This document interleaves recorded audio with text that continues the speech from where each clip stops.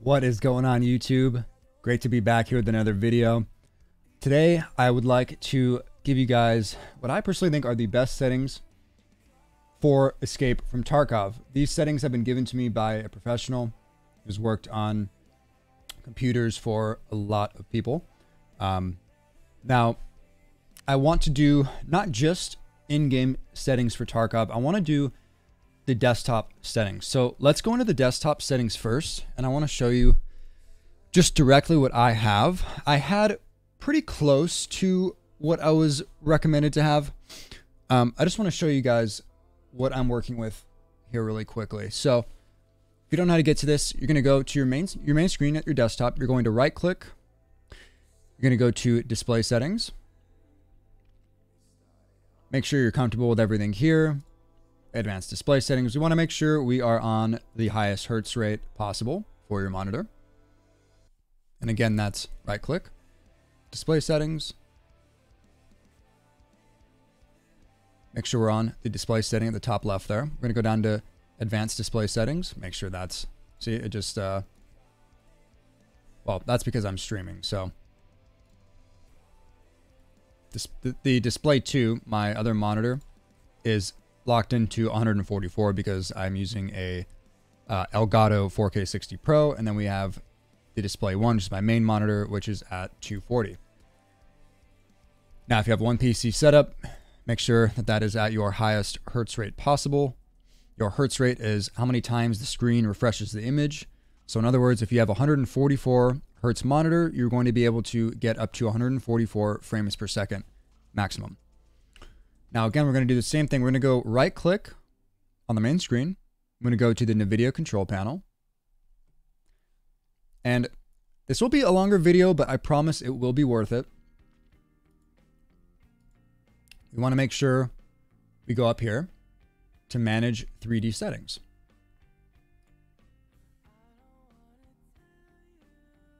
And now we want to be on our global settings here. And I won't list these off. I'll just have these visible for you guys. Um, if you have any questions uh, regarding any of this, please feel free to ask me. So I'm just going to slowly scroll through all of this.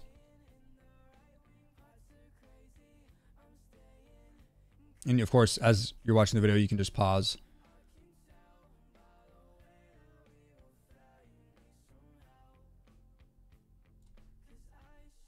Now these settings were given to me again by a professional.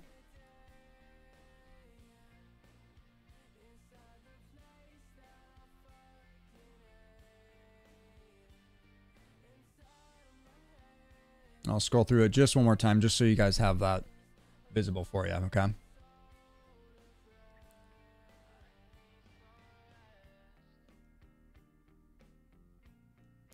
Now, I'm going to go down to here next to adjust desktop color settings. This is very, very important for Tarkov. Um, now, I do want to say that a lot of this is personal preference, specifically with brightness and the digital vibrance. I recommend 50% brightness, 50% contrast, gamma at 1.00, and I'm rocking 64% digital vibrance. You'll see a lot of streamers and just Tarkov gamers in general rocking 75. 75 really does increase the colors a lot. For my specific monitor, the colors are pretty good as it is, and I have a lot of clarity. So I've I've played on with the gamma at about 1.3 and digital vibrance on 75%.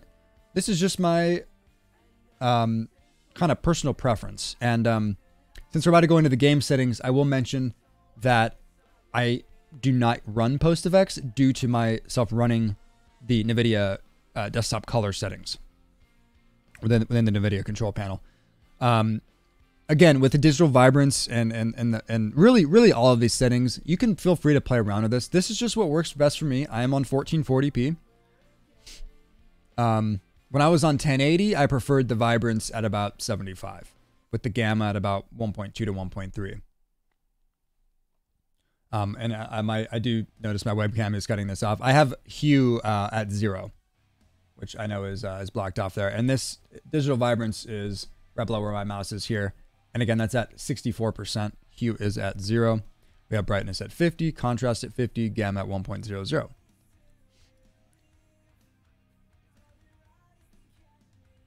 And that is uh, pretty much it as far as that goes.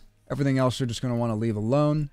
Now let's get into the game settings. Pretty straightforward and simple. And again, there are some variations with what people use, and there's nothing wrong with that. For example, automatic RAM cleaner and use only physical cores. I've had these on and off, and to tell you the truth, I don't see a huge difference. I'm running 32 gigs of pretty high speed, low latency RAM a 3080, and the Intel 99, the i9 9900K. My system, for whatever reason, runs best with these two off. I get over 120 FPS on most maps, except for Lighthouse, which is typically a lower FPS map as it is not optimized fully.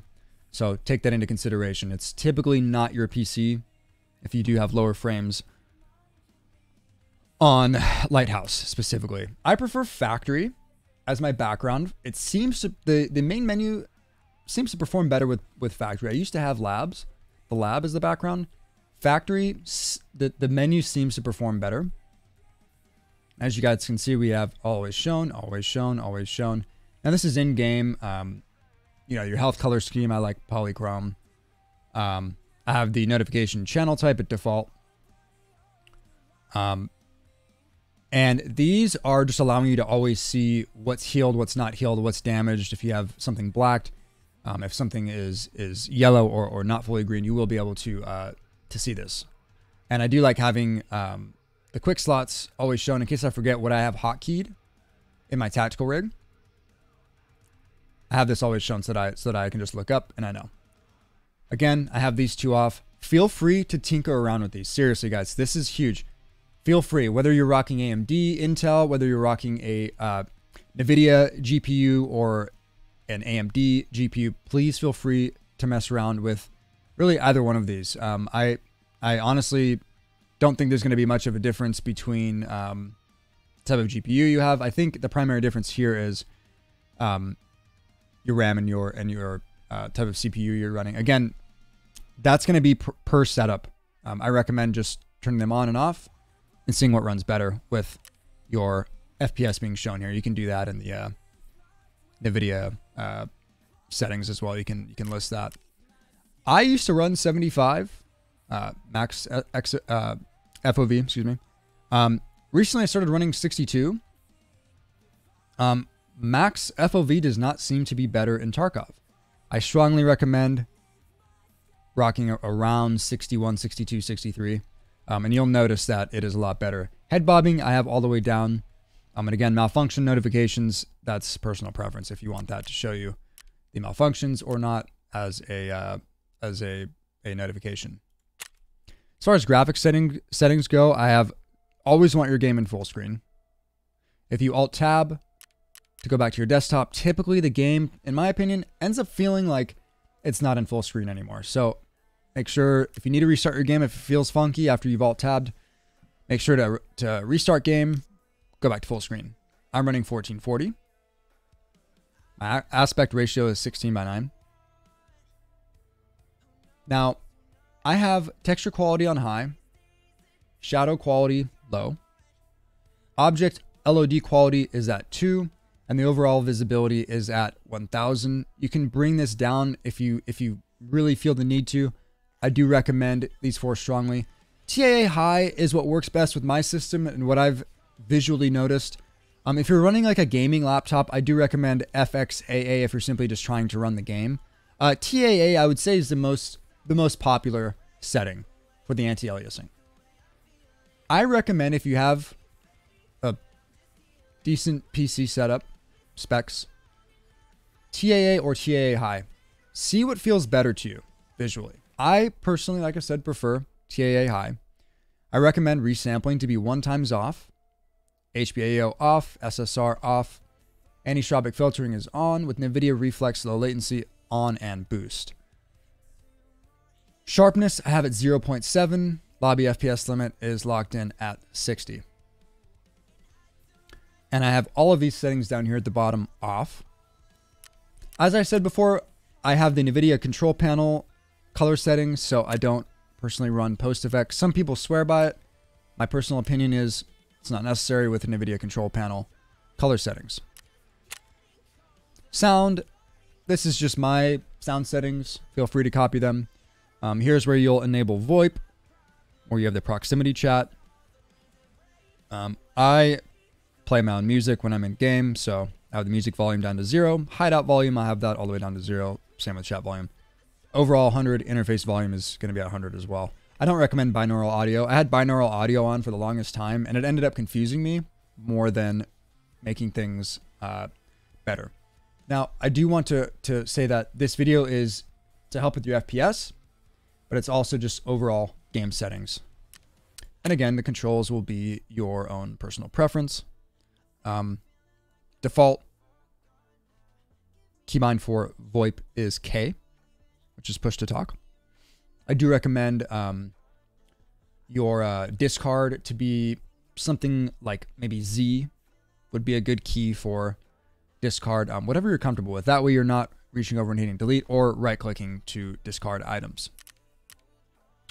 And that's really going to be it, guys, for all of your settings. Now, the one thing I really, really, really, truly want to mention to finish this video off with is it's better to have a lesser amount of RAM that is lower latency and higher megahertz.